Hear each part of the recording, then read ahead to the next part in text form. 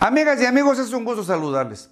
Seguramente muchos saben quién fue Charles Spencer, mejor conocido como Charles Chaplin, un actor humorista, compositor, productor, guionista, director, escritor y editor británico. Nació el 16 de abril de 1889 en Londres, Inglaterra, y falleció el 25 de diciembre de 1977 en Suiza.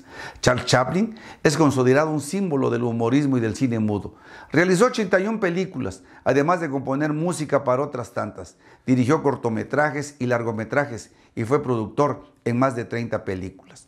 Charles Chaplin también es recordado como autor de célebres frases vigentes hasta nuestros días. Decía, Nada es eterno en este mundo, ni siquiera nuestros problemas, destacando que muchas veces le prestamos más atención a los problemas que a las soluciones.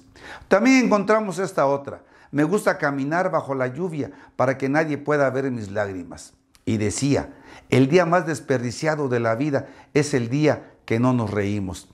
Destacaba también y recomendaba a los seis mejores médicos del mundo y decían que era el sol, el descanso, el ejercicio, la dieta, la autoestima y los amigos. Pero sin lugar a dudas, su gran legado fue el que escribió antes de morir. Queremos hacer felices a los demás, no hacernos desgraciados.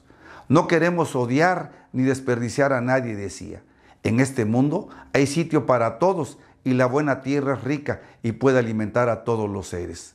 El camino de la vida puede ser libre y hermoso, pero lo hemos perdido. Su legado nos deja como lección el respeto a la vida, a nuestros semejantes, a nuestros amigos y también a los que no lo son. Y algo muy sobresaliente, respeto a nuestro entorno. ¿Ustedes qué opinan?